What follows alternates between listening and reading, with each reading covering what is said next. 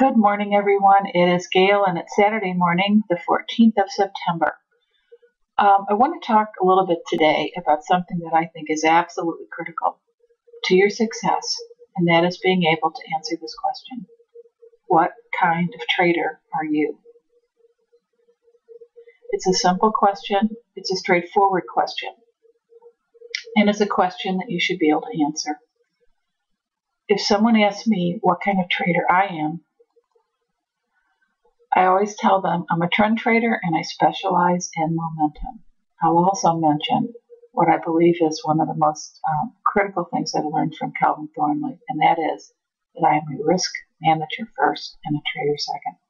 But I am a trend trader. I specialize in momentum. What kind of trader are you?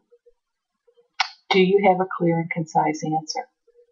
And more important to that, does your trade does your trade plan reflect that? There are many, many ways to take pips out of the market. I have done that.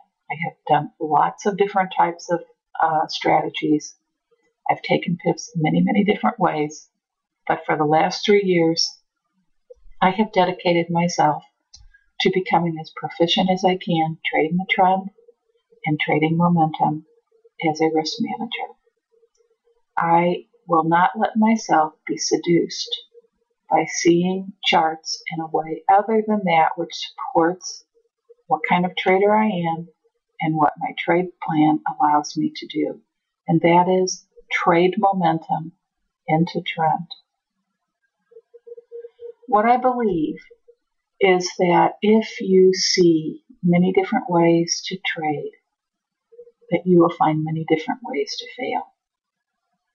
Focus is critical to success. What kind of trader are you? Let me give you an example using the pound dollar. You can see that we have been in a long term uptrend since July. And yet, there would be many traders who will say, Oh, look at this. We've got a great level coming up. Look what price did here. Look how it bounced around here before. Oh my gosh, what was that? Huge fall. And then it rallied up again, and what happened? Hit this level, and a nice retrace happened before we went back into trend. A few days ago, we approached this level again. Here's another one of these levels that I know that there was a lot of retail carnage and there would be some traders who are able to trade this this level and take a little bit out of it. You can see that it, it peaked out around 157.30 before we had this drop down to uh, 157, all of 30 pips. I mean, really, come on. You know, there are ways to scalp into trend, so why scalp into counter trend?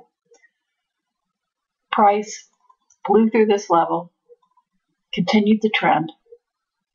And when I came into the trading session yesterday, Friday, um, I came in late a little bit before um, the New York session opened.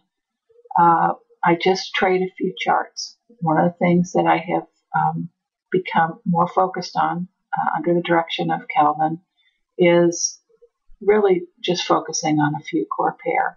And I find that the more proficient I get into trading momentum, the easier it is for me to just focus on a few charts and make my goals. So when I came in, we had um, had seen price rally um, through the, the London uh, session and was t- trading in a fairly tight level. Um, my bias was to the long. I'm a trend trader. I had a very strong trend here. Uh, the day's activity had been to the long, so I was looking for a possible entry long into the pound dollar ahead of data.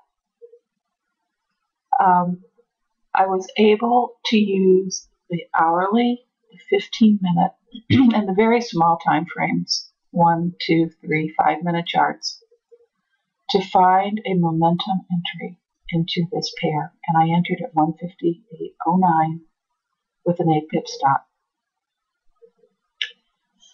I had an area at uh, around 158.60 identified as a level that I thought um, price would pause. Um, and if it blew through, I would, of course, continue to hang on and go for that ride. But when price started moving, it came up to 158.60. Price did start to pause. It did show evidence of some um, hesitation, and that was what I needed. Um, I I had my 50 pips on that trade, which was what uh, I had set as a goal for that trade. And with the hesitation, I went ahead and closed. And that was it for my day. Um, as is usually the case, it turned out that, that uh, Kelvin had traded the same pair, pound long. He had gotten in earlier than me. Um, most of my trades uh, are not 50 pips. Most of my trades are less than that. Um, I trade later hours now. I don't get up for the London Open, so um, I don't get to benefit from a lot of the breakout trades that are there. I come in ahead of New York.